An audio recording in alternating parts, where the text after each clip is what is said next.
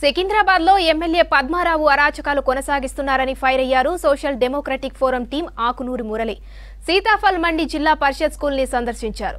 Junior college స్కూల్లోనే మొత్తం ఇరవై ఏడు గదులను కూలగొట్టారని ఆరోపించారు. కమిషన్ల కక్కుర్తితోనే ఇరవై తొమ్మిది కోట్లు మంజూరు చేయించుకున్నారని అన్నారు. టెండర్లు లేదు కాంట్రాక్టర్లు లేరని తన మనుషులతోనే పనులు చేయిస్తున్నారని చెప్పారు.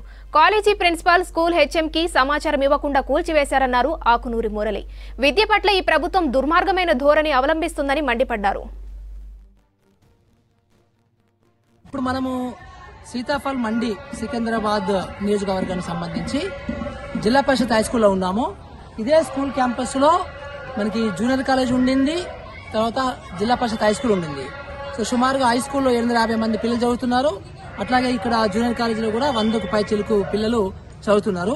ఇక్కడ విషయం ఏంటంటే క్లియర్గా ఇప్పుడు మనకి తెలంగాణ జరుగుతున్నటువంటి ఒక కమిషన్ల వ్యవస్థకి నిలుటద్దం లాగా అనమాట అంటే ఇది ఇది కట్టి ఒక పది సంవత్సరాలు అయింది ఇంతవరకు. అంటే మంచి కాలం స్ట్రక్చరు కాలమ్స్ బీమ్స్ అన్నీ ఉన్నటువంటి ఈ జూనియర్ కాలేజ్ స్ట్రక్చర్ని కూలగొట్టేసిండ్రు. అట్లా వెనకాల చూడండి అది కూడా కాలం స్ట్రక్చరు. అది కట్టి ఇరవై ఐదు సంవత్సరాలు అయింది. ఇంకొక ముప్పై నలభై సంవత్సరాలు ఉన్నటువంటి బిల్డింగ్ అది. నేను సివిల్ ఇంజనీర్ చెప్తున్నాను. ఇప్పుడు దాన్ని కూడా అనవసరంగా కూలగొట్టిండ్రు. ఏంటంటే ఇప్పుడు పద్మారావు నగర్ ఎమ్మెల్యే గారు ఆయన స్పెషల్ డెవలప్మెంట్ ఫండ్ ఎందుకంటే ఆయన డిప్యూటీ స్పీకర్ కదా. మరి ముఖ్యమంత్రిని కన్వీన్ చేసుకొని ఇరవై తొమ్మిది కోట్ల రూపాయలతోని ఒక ప్రాజెక్ట్ తెచ్చుకున్నాడు ఈ స్కూల్ కాలేజ్ కట్టడానికి.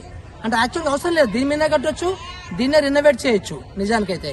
పైన ఇంకొక ఫ్లోర్ వేయచ్చు. దీనిపైన ఇంకొక ఫ్లోర్ వేయచ్చు. కానీ ఏంటంటే కమిషన్లు కావాలి కదా మరి?